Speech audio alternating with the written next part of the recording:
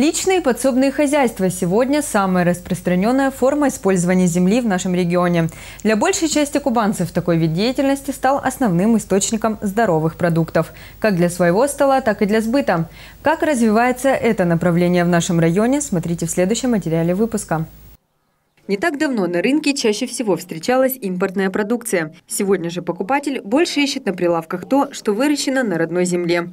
Житель прикубанского сельского поселения Саргис Аганесян около 10 лет выращивает фрукты и овощи. После ухода на пенсию Саргис нашел свое призвание – это садоводство. В своем саду он получает отменные урожаи яблок, груш, абрикосов, слив, персиков и давно является примером не только для своих земляков, но и для многих садоводов района. И решил, что не скучат, вот садить сад. Раньше свиней держал, живность всякие. Мы по три коров держали, три тонны при колхозе молоко сдавали, по 15, по 30 копеек, ну тогда были другие деньги. А в последнее время я заразилась вот садом. Подсобным хозяйством в семье Аганесян из прикубанского сельского поселения занимаются давно. Выгодно, говорит Саргис. Но надо быть готовым к тому, что это тяжелый труд. Большую помощь в уходе за садом ему оказывает жена Рыбсик. Они заняты с утра до позднего вечера. Саргис считает, что если и делать, то только хорошо, чтобы самому нравилось и людям, которые будут покупать эту продукцию. Чтобы все росло, надо делать с любовью, с душой. Сад – это продолжение дома, душа домовладения. Выращенные в нем фрукты обладают особенным вкусом и ароматом. Собранного урожая, говорит Саргис, хватает, чтобы продать на рынке, себе что-то оставить и, конечно же, отдать детям и внукам. Кстати, супруги воспитали шесть дочерей. Отчасти это и послужило поводом высадить так много деревьев, смеясь, признается труженик. Говорят, мужчина должен строить дом, родить сына и садить дерево.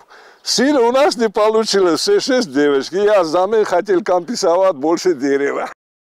У супругов Аганесян чистота и порядок царят повсюду. На приусадебном участке, в саду и во дворе. Сразу видно, крестьянский труд здесь в почете. Все сделано с любовью. Все плоды из сада Саргиза экологически чистые. Он практически не применяет минеральные удобрения и никакие яды. Выручает местная органика. Фрукты вырастают сильными, крепкими, а главное – абсолютно натуральными. Помимо выращивания фруктов, Саргиз занимается пчеловодством. Всего в его владении более 30 пчелосемей.